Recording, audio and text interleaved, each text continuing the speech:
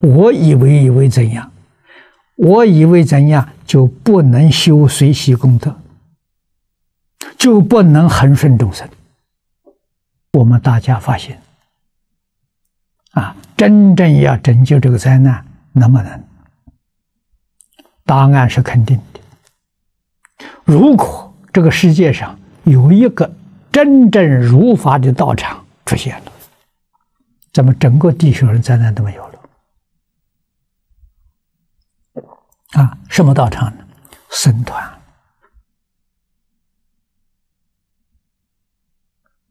啊，什么叫僧？僧的意思是六合敬呐，里头有六个条件的。啊，这六桩事情都做到了，就是四个人以上在一起修行，这叫众。这就是个团体。啊，遵守佛陀的教诲，见火同解，这就是我们现在人所说的建立共识。啊，我们在一起修学的人，思想一致的，见解是一致的，啊，没有矛盾。没有对立啊，这个是六合里头最重要的一个条件。第二，戒火同修啊，大家在一起一定要守规矩啊，规矩是什么？规矩是戒律啊。第三个是生活同住啊，这我们住在一起，口和无争。啊，大家是一团和气，没有争论。啊，异火同月，在一起修行，在一起生活，欢欢喜喜，法喜充满。最后一条，利火同君。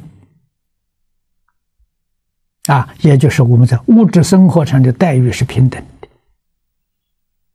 啊，没有哪个人有优越的，啊，这是释迦牟尼佛当年在世，啊，他僧团里面的就这么简单六个规矩，啊，他的僧团很大，一千二百五十五人，我们在经上常常看到的，啊，人人都能够遵守这六条，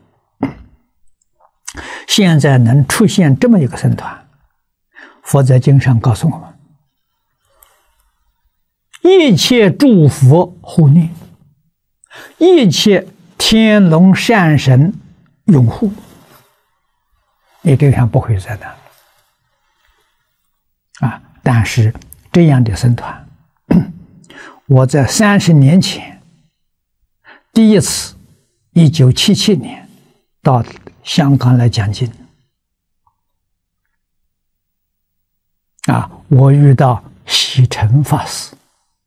啊，我们非常投缘，啊，很谈得来，啊，他是香港，也是佛教领袖之一，啊，也早几年都往生了，啊，我就跟他谈到这个问题，啊，我说我们能不能发心，找五个出家人，志同道合，无比丘。我们来落实六合经啊，来组这个僧团啊，他听了很欢喜啊。我在台湾，他在香港，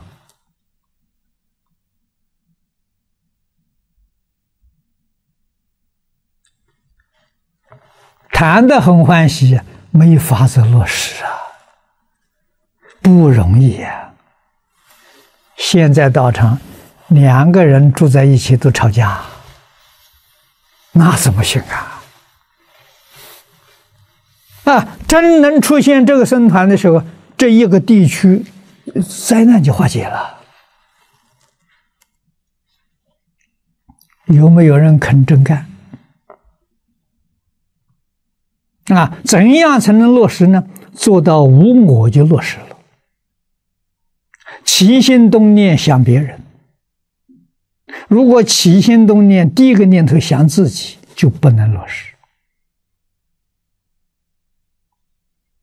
啊，入佛门头一关呢，破我执啊！哎，你看这个这个 这个见思烦恼里面的见惑五种，头一个就是身见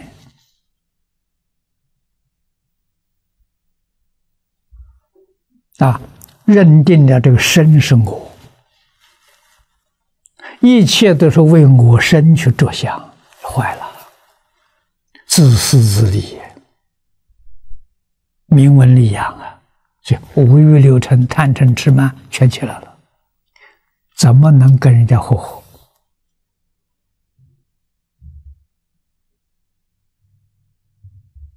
啊，所以不再执着这个身生活了，不再给别人对立了。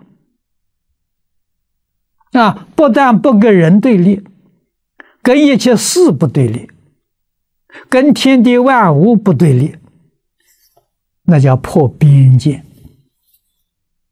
啊，然后再破成见。那么叫默认成见很深。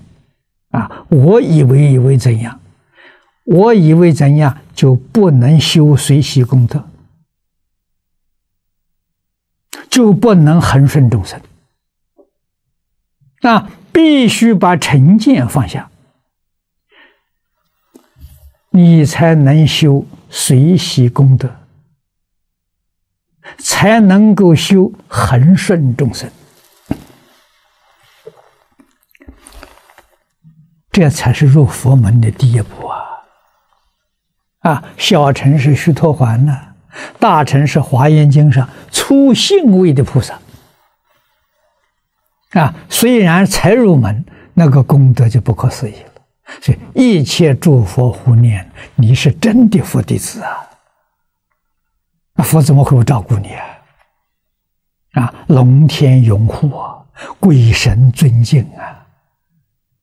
所以这样一个僧团出现呢，这个地方就有福了。啊，有没有四五个人真肯干呢？舍己为人啊，起心动念为释迦如来正法救助，起心动念为这个世间一切苦难众生。不要想自己，把自己忘掉，才能做到六合敬。啊，你。陀佛，阿弥。